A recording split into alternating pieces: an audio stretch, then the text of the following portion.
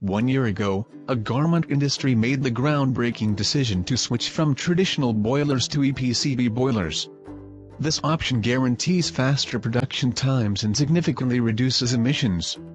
EPCB staff worked hard to deliver these boilers quickly and efficiently and the customer is happy with their purchase. Now, an engineer from EPCB Boiler returned to the customer site for communication. As they approached the scene, it became clear that something had changed there was now a sense of efficiency in the air as steam billowed from behind closed doors.